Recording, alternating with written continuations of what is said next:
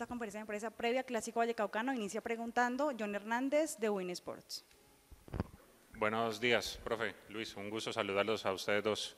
Eh, Luis, América, ¿cómo se viene preparando? Días de para por el tema del Pascual Guerrero de la Copa Libertadores. ¿Cómo está el equipo, Luis?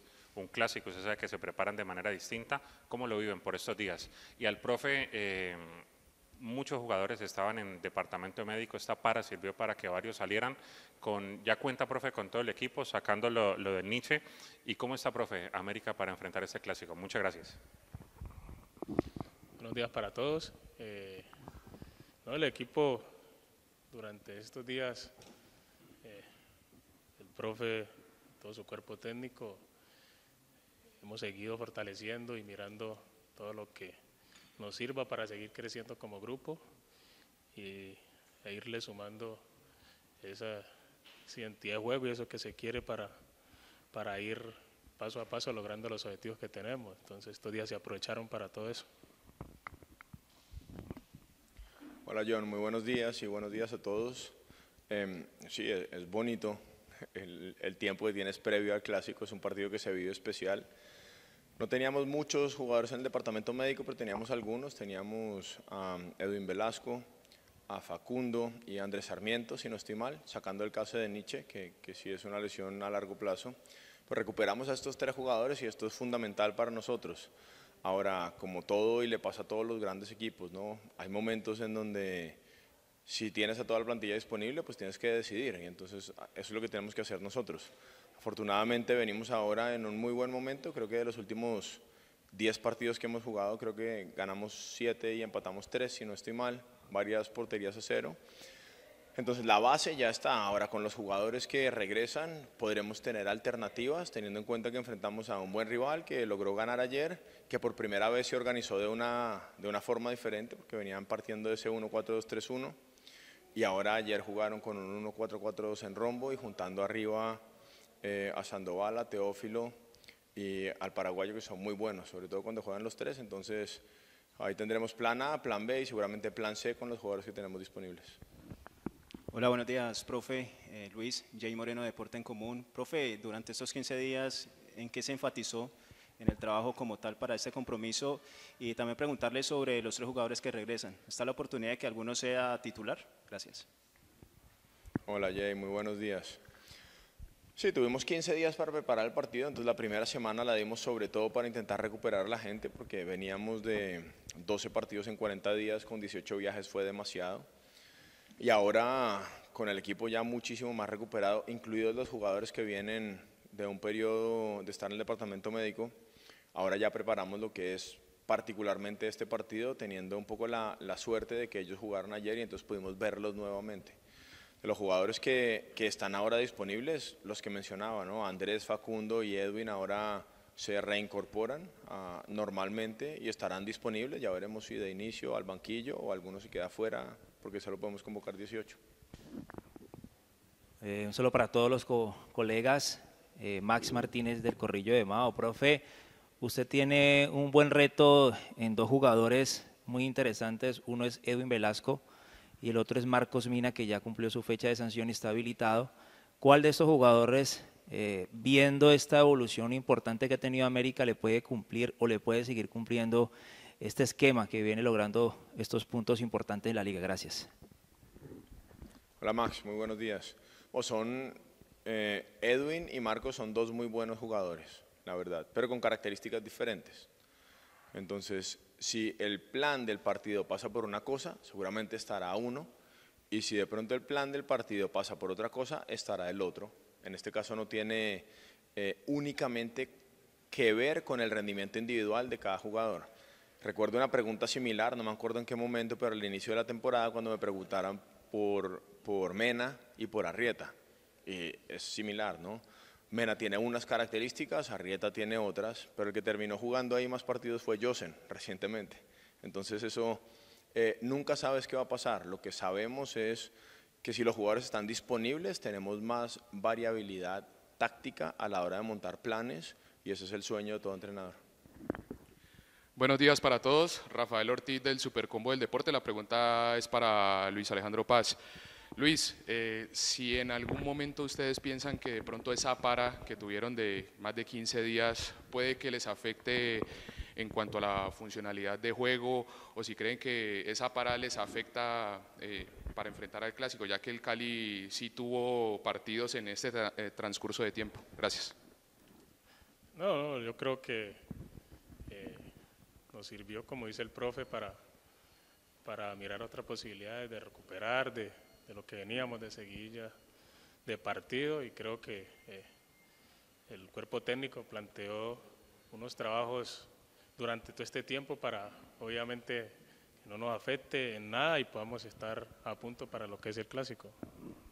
Buenos días para todos. Carlos León de los campeones de Univalle La pregunta va para Luis. Luis, teniendo en cuenta que el Deportivo Cali actualmente está en los ocho, hace dos años que no pasaba eso, teniendo en cuenta que el equipo y los jugadores tienen un impulso anímico de acuerdo a esto, ¿ustedes cómo hacen para contrarrestar este impulso y además que jugarán de visitante en un estadio que va a estar a reventar? Muchas gracias. No, yo creo que, que, que toca ir y, jugar eh, nuestro clásico. Eso independientemente de, eh, de lo que ellos vienen haciendo, nosotros tenemos que enfocarnos en, el trabajo de nosotros, en ir y hacer un excelente partido que nos permita eh, ese lindo espectáculo, como tú lo dices, va a ser un estadio a reventar, que ellos vienen en un buen momento y, y bueno, eso es bonito en el fútbol, ¿no? Enfrentarnos entre dos equipos, un clásico eh, de esta manera, lindo y bueno, como dicen siempre, que gane el mejor. Buenos días para todos. Profe Alejo Mejía de Colmundo Deportes. Mi pregunta es para usted. Eh, Deportivo Cali viene motivado, en un buen momento y con ganas de quedarse en los ocho. ¿Dónde América de Cali debe tener especial cuidado para enfrentar a este equipo que viene con ganas de seguir en buena racha? Gracias. Hola, Alejo, me dijiste, ¿no? Muy buenos días. Bueno, eh, Cali tiene muy buenos jugadores y tiene un excelente entrenador que ha asumido un reto en una posición difícil y es evidente que está haciendo un buen trabajo, porque aparte de que algunos resultados se le han escapado, era un equipo que jugaba bien y tiene muy buenos jugadores, sobre todo arriba. Tiene jugadores muy buenos, entonces la única forma de contrarrestar estos, estos buenos jugadores, le decía ya Lucho ahora dos palabras, es quitarles el balón. Si nosotros dejamos que estos jugadores que yo mencioné antes jueguen cerca de nuestra portería, nos van a meter en problemas. Entonces nosotros tenemos que hacer un partido impecable desde el punto de vista de recuperación, cómo recuperar el balón lo más, lo más rápido posible cuando lo perdamos y lo más cerca posible a la portería contraria. Y que el partido se parezca lo máximo posible al primer clásico que enfrentamos en nuestro estadio. Ellos van a ser locales, van a tener al público de su lado, pero cuando el partido empieza son 11 contra 11. Nosotros afortunadamente ahora tenemos un equipo que ya tiene muy claro qué hacer y como decía, con estos 15 días que hemos tenido para entrenar, nunca sabes lo que va a pasar, pero tenemos la posibilidad de desarrollar un plan A, un plan B y un plan C. Buenos días al profesor, al jugador. Profe, se viene el clásico 302, su primera vez en Palmaseca. ¿Usted cómo vive la previa? Si tiene alguna cábala para los partidos importantes y para Luis, independientemente de la actualidad y que defensivamente el rival tiene ciertas debilidades, pues los clásicos son partidos apartes, más emocionalmente, más que físicamente, ¿cómo se prepara el grupo? Hola, muy buenos días. Bueno, la, la previa la vivo, me encanta, me encanta, la disfruto enormemente, la disfruto más ahora porque cuando nos tocó anteriormente estos clásicos, ¿no? Contra el Cali, pero también contra Nacional cuando lo enfrentamos, era muy poco tiempo para preparar el partido. Ahora, ahora disfruto buscar variantes, buscar alternativas. Si juntas a este jugador con este, te puede dar esto, pero si juntas a este otro con estos dos, te puede dar otra cosa. Y esa parte me encanta de mi trabajo.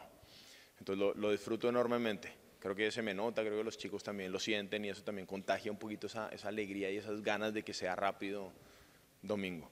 Eh, cábalas no tengo, sí presto un poquito de atención a la ropa que uso para los partidos. Tengo una de mis camisetas para los clásicos que seguramente será la que me pondré el domingo. Ah, el domingo la ven. Eh, buen día para todos, profe Luis. La pregunta es para, para Luis. Ustedes eh, el próximo domingo tienen un partido bastante interesante, sobre todo porque pueden dejar herido de muerte al Deportivo Cali. ¿Eso lo hablan entre ustedes? ¿Qué, es mejor que no se meta al Deportivo Cali porque estando en cuadrangulares puede ser un firme candidato al título. No, yo creo que nosotros, como hemos venido planteando, eh, la consigna es ir partido tras partido independiente de, ahora es el clásico, es el Cali, partido especial, y sabemos que a la hora de, ingresar en los ocho, todos los que ingresan a los ocho tienen esa oportunidad, esa posibilidad de lograr el título independiente del que sea. Entonces nosotros siempre nos enfocamos primeramente en lo que queremos nosotros como grupo, los objetivos que tenemos como América de Cali y luego ya eh, el rival que se preocupe de su, de su condición y de lo, que, de lo que ellos quieren.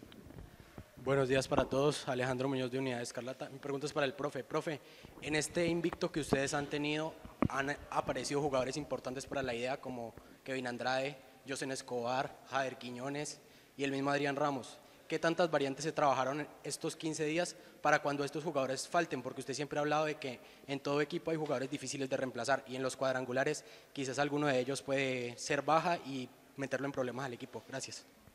Sí, hola Alejandro, muy buenos días. Sí, eso que menciona- mencionas es fundamental, entonces a mí me pasó eh, justo el semestre pasado, en donde teníamos un equipo que clasifica primero con 39 puntos y después pierdes dos jugadores, pierdes el tercero con la venta de Kevin a, a México, al tercer partido si no estoy mal y después es muy difícil reemplazarlos.